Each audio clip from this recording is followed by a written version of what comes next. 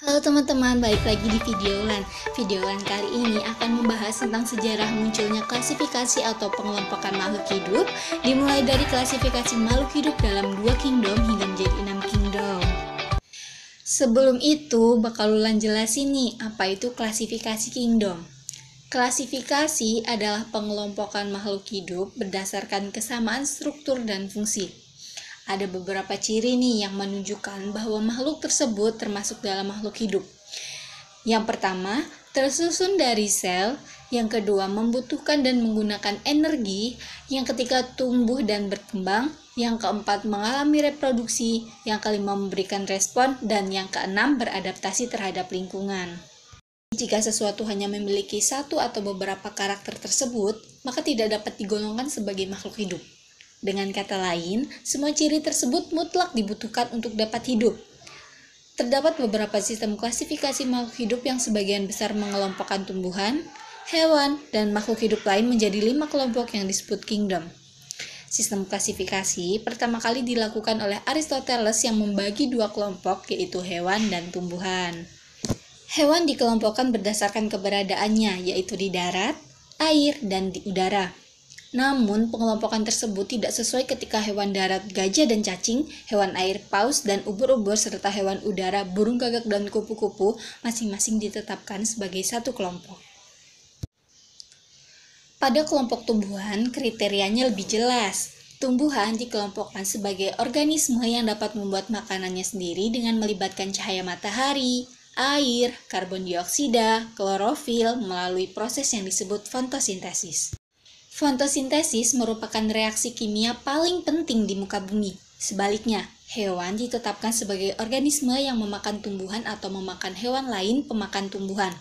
Namun, klasifikasi tersebut menjadi tidak sesuai untuk mushroom, yang tidak berwarna hijau karena tidak mengandung klorofil sehingga tidak dapat masuk kelompok tumbuhan.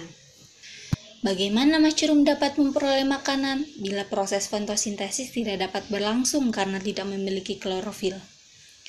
Selain itu, mushroom tidak mempunyai mulut untuk makan sehingga tidak dapat masuk kelompok hewan. Hmm, sekali lagi, bagaimana mushroom mendapatkan makanannya? Mushroom adalah jenis fungi dan semua fungi tidak membuat atau memakan makanan tetapi mengabsorpsi makanannya. Hampir semua bagian tubuh mushroom berada di dalam tanah, disusun dari rangkaian sel-sel yang kecil yang disebut hifa Hifa berukuran sangat kecil dengan diameter 1 per 50 diameter rambut manusia. Hifa tumbuh ke arah makanannya berada, kemudian mengabsorpsi secara langsung ke dalam sel. Jadi, telah diketahui ada tiga kingdom makhluk hidup, yaitu animalia, plantae, dan fungi. Tunggu, tetapi bagaimana dengan bakteri?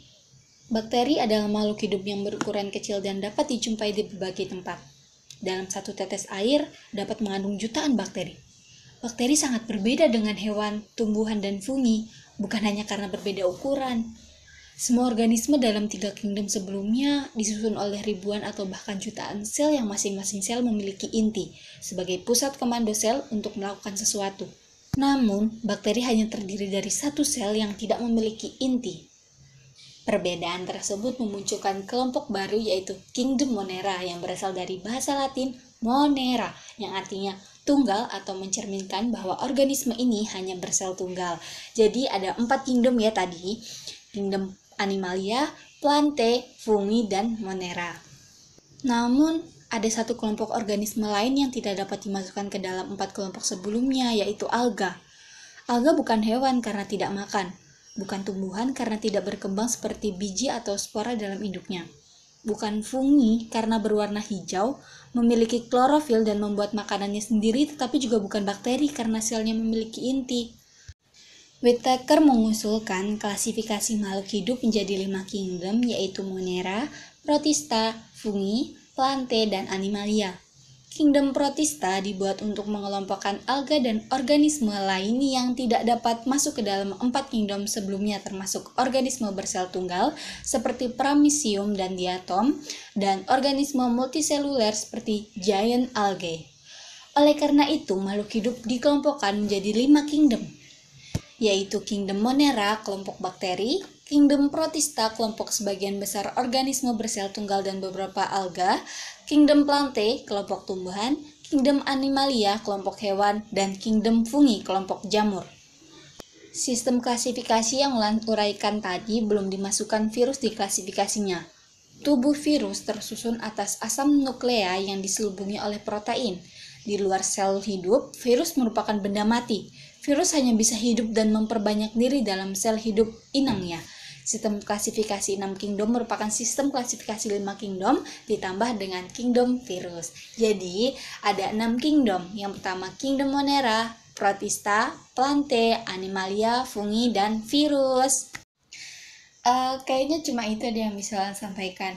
Walaupun informasinya berbelit-belit, semoga informasinya bermanfaat ya.